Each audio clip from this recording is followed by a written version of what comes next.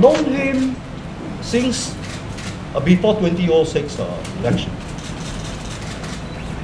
But uh, we did not feel him as a candidate in 2006 because uh, we knew him too short a time at the point in time when we go into the election in 2006.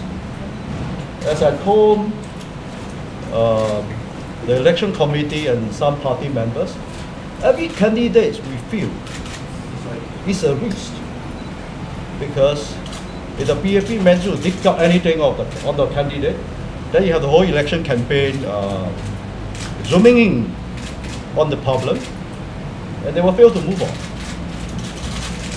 So within him on 2006. We observed him quite, for quite some time, the way he worked, and uh, we are confident that he's a person of integrity, sincere, wanting to serve the people, and he fits our criteria as a candidate. Why should they trust me? Uh, I think the town council, if you look at it, is managed by uh, professionals. Uh. Okay, so uh, what I would uh, what I would say is that um, I'm a fast learner. Okay, um, no issue about managing town. So uh, I, I, I learned. But actually, I, I talk to the, the town council almost town council uh, manager almost every other day. Hougang residents are they know the importance of having uh, an opposition. So no matter what, you, you can't convince them that there, there's no need for opposition. I mean, you look at it for the 20 years, they have voted for us. They wanted a voice and they want a unique voice. You know, so um, I, I want to be that, the voice for them. And uh, policies, as, as I visited the estate, I do get feedback from them. What are the issues? I mean, basic things, cost of living, transport, all these. So these are things that I can highlight.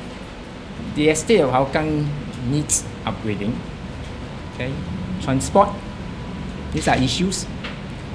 Uh, elderly friendly access, shelter, drop off points. All these are issues. Of course, you're talking about renewals. Probably you had in mind why you know we feel uh, we should feel probably younger candidates. But there are other chances that at the next election, the younger candidate could be fielded as well.